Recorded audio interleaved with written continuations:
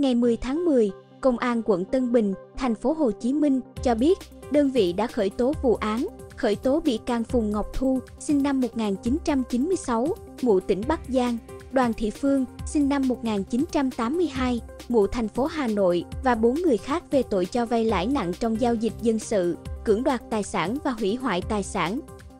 Trước đó, rạng sáng ngày 1 tháng 10, căn nhà của bà Quy ở đường Bầu Cát, phường 12, quận Tân Bình bị nhóm đối tượng khủng bố bằng sơn, mắm tôm. Qua điều tra, công an nhận định có thể vì không trả tiền nên nhóm đối tượng khủng bố bằng chất bẩn, mắm tôm để đòi nợ. Tại công an, nhóm đã thừa nhận hành vi phạm tội. Theo đó, Thu và Phương cùng góp tiền để cho vay ở các quận như Bình Tân, Tân Phú, Tân Bình, quận 12.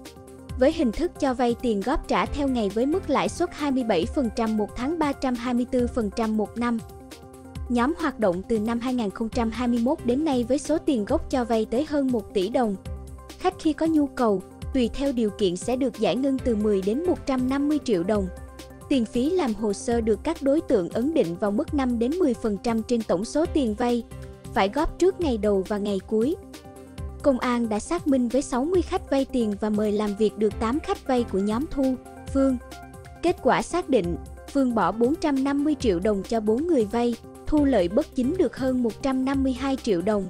Còn Thu cho 5 cá nhân vay với số tiền cho vay gần 1,5 tỷ đồng, thu lợi bất chính số tiền hơn 386 triệu đồng.